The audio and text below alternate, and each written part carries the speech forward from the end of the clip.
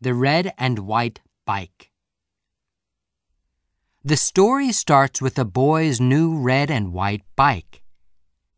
It is 1954. Joe Martin is a policeman in Louisville, Kentucky, but he teaches boxing in a gym in the evenings too. One day, two young black boys come into the gym. One of them sees Joe. Excuse me, he says. Are you Joe Martin, the policeman? That's right, Joe says. What's your problem? It's my new bike, the boy says. It's red and white. It was in front of this building, and now it's not there. The young boy is unhappy and very angry. I'm going to find the boy with my bike. Then I'm going to whoop him, he says again and again. Joe Martin smiles. The boy is about 12 years old. He is tall with long legs and he is thin. Can you box? Joe asks. No, I can't box, the boy says but I want to whoop that boy. Joe smiles again. Come here to the gym first. Maybe I can teach you. Okay, the boy says. I'd like that. Good, Joe says. What's your name? Cassius, the boy says. Cassius Clay. Joe doesn't know it, but in only 10 years, that young black boy is going to be a world boxing champion. After that, Cassius went to Joe Martin's gym six days a week. He was strong and quick on his feet, and he started boxing with the other boys in the gym. He didn't box for money, of course. He boxed because he liked it. He usually won his fights. He was good. But he wasn't a good student at school. He had a lot of problems. He was a good boy from a good family. He was friendly, and his teachers liked him. But schoolwork was very difficult for him. The only important thing in the world for him, then, was boxing. In six years, he had 108 fights, and he won 100 of them. Then, in 1960, he went to Rome and boxed for the United States. The Olympic Games in 1960, Cassius was only 18 years old. He was in Rome for the Olympic Games. He beat every opponent and he won an Olympic medal for the United States. He was an Olympic boxing champion. And he didn't take off his Olympic medal for weeks, night or day. At home in Louisville, he was famous. But he was black. And in Louisville, in the 1960s, there were places for white people and places for black people. In many hotels, theaters, stores, and buses, black people didn't sit with white people. One day, Cassius wanted to buy a drink in a white store. It was a problem. Whites only, they said. But I'm the Olympic boxing champion. I'm famous, Cassius said. Whites only, they answered. Go away. Cassius was very unhappy about that. I'm going to be the world champion, he said. I'm going to be important. Then white people are going to sit down with me and listen to me. After the Olympic Games, Cassius started to fight for money. Boxing wasn't a game now. It was his work. He moved from Louisville to Miami. He went to a new gym in Miami, and he had new friends. One of them was Angelo Dundee. He worked with Cassius in the gym and was always with him for his fights. The first fight with Sonny Liston. In 1964, Cassius Clay was 22 years old. He was tall and strong. After 19 fights and 19 wins, he wanted to fight the world champion, Sonny Liston. Clay always moved very quickly in his fights. He danced here and there in the ring. His opponents were big, strong men. But they lost because their punches usually didn't hit him. But Liston was the world champion and a very strong boxer. The newspapers in the U.S. said, Liston is going to win this fight. Clay is very young. Liston is going to kill him. Only three newspapers said, maybe Clay can beat the champion.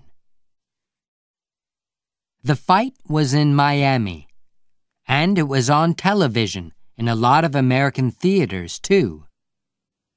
Young Cassius Clay wanted to be famous and make a lot of money.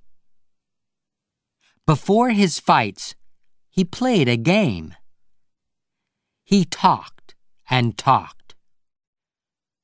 Usually boxers were quiet men, but Clay's mouth was always open. Before every fight, he said to the people and the newspapers, I'm beautiful. I'm good. I'm quick and strong. I'm going to beat that man in two or three or four rounds. White people were angry with him. They didn't like this young black man with the big mouth. Kill him! They said to his opponents. Close that big mouth for him! But then, of course, a lot of people wanted to see the fight. Before the fight with Sonny Liston, Clay played this same game. Liston was very strong, but he wasn't very quick. The fight is on February 25th. In round one, Clay starts to dance. Liston can't hit him. Sometimes Clay hits his opponent's face. One, two, very quick punches. Then he moves away. Liston goes after him, but slowly. He is big and strong, but he can't hit the young Clay. Clay goes back to his chair. He smiles at his friend, Angelo Dundee. That's the first round, and he didn't kill me, he says. I can win this. Liston is on his feet. He doesn't want to sit down. He wants to start round two. But it is the same story in rounds two and three, and four. Clay dances across the ring and Liston can't catch him. Sometimes he hits Clay, of course, but Clay is always moving away. And he is hitting Liston's face and eyes all the time. After six rounds, Liston sits down. His face is red and one eye is closing. Suddenly, he is very tired. That man can hit, he says. Now it is round seven, and Clay is standing up on his feet. He is waiting, but his opponent isn't moving from his chair. Cassius Clay is the new champion of the world, and he is only 22 years old. He calls to the newspapermen near the ring. I am the champion! I'm beautiful! I'm number one in the world! And you were all wrong, wrong, wrong! A new name and new problems.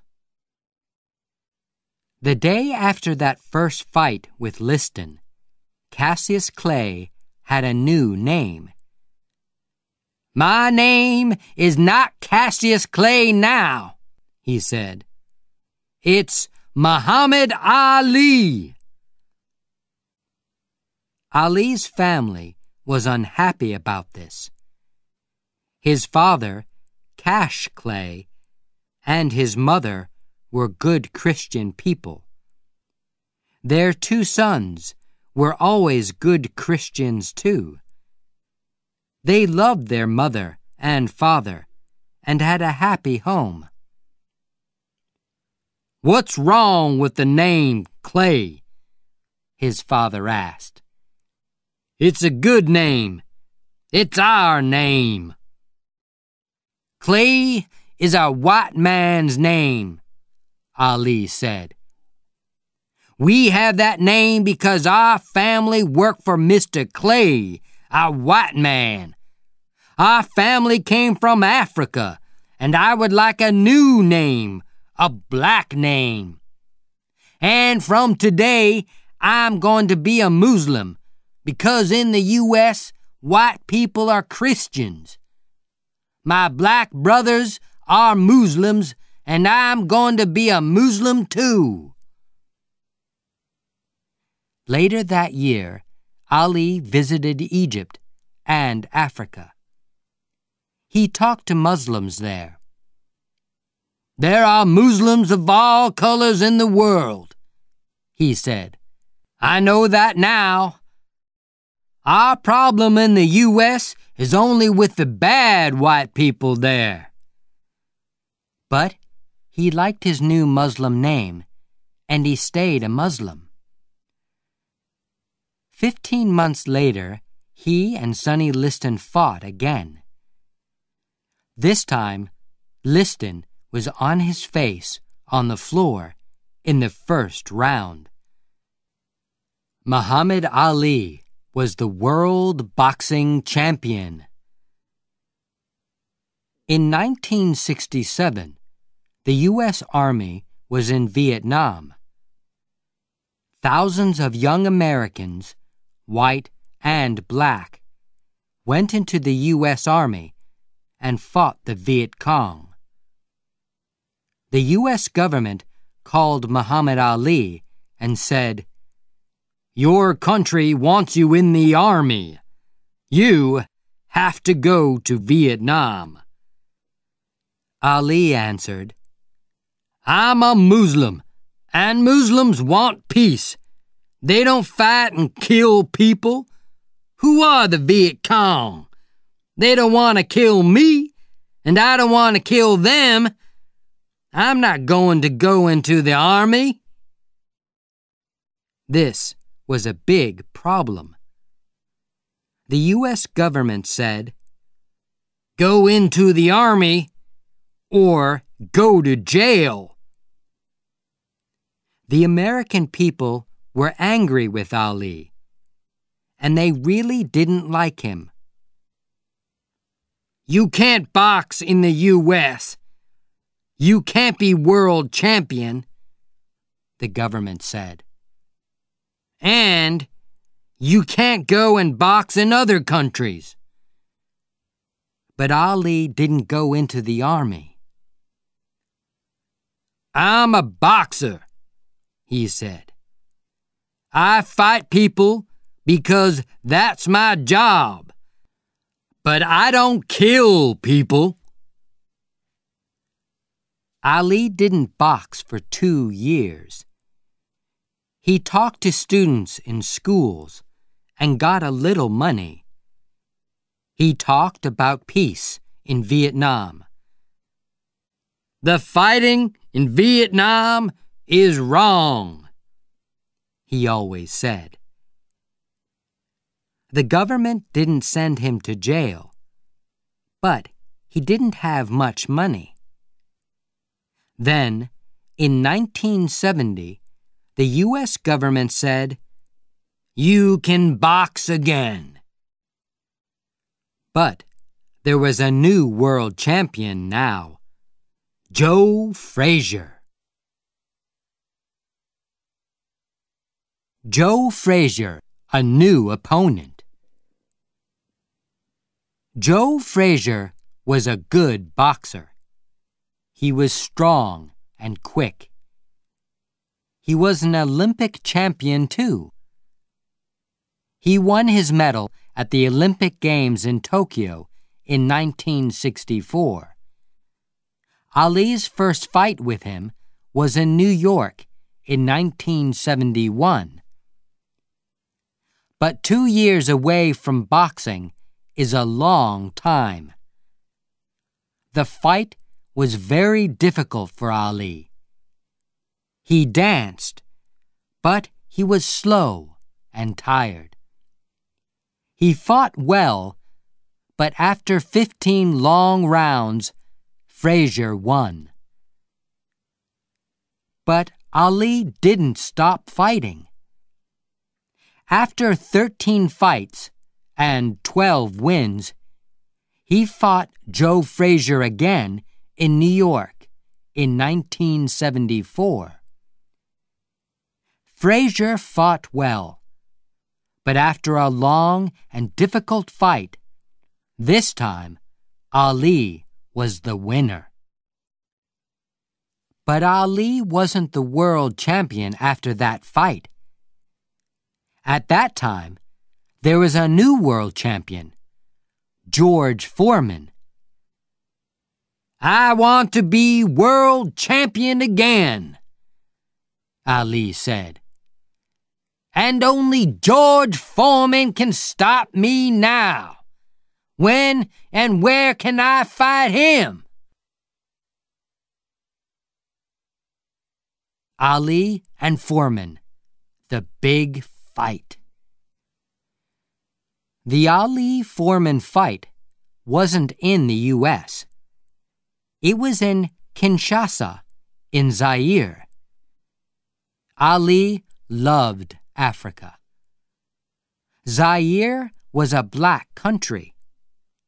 The government was black. Ali stayed in a beautiful big hotel, and the people there loved him. He was on the streets of Kinshasa every day, and people called to him, Ali Bomaye! Ali Bomaye! Bomaye? What are they saying? Ali asked the man. The man had a big smile. They're saying, Ali, kill him. Of course, George Foreman was a black American too. But Africans loved Ali because he wanted peace in Vietnam. And he was very famous because he didn't go into the U.S. Army. But George Foreman was a very big, strong boxer. He was 25 years old, and Ali was 32. And Foreman wasn't slow and heavy. At four o'clock, on the morning of October 30th, 1974, Ali and Foreman start the big fight. It is very hot in Kinshasa. There is going to be heavy rain later in the day. In round one, Ali starts to move and dance across the ring. Foreman comes after him. In the first round, there is no winner. Ali sits down. I can't dance for 15 rounds, he thinks. It's very hot, and Foreman is quick. The old game isn't going to work. In round two, Ali stops dancing. He tries a new game. He is going to make his opponent tired. He moves slowly. Sometimes he only stands there. Foreman hits him with big, heavy punches. People call out, Dance, Ali! Dance! Don't stop moving! He's killing you!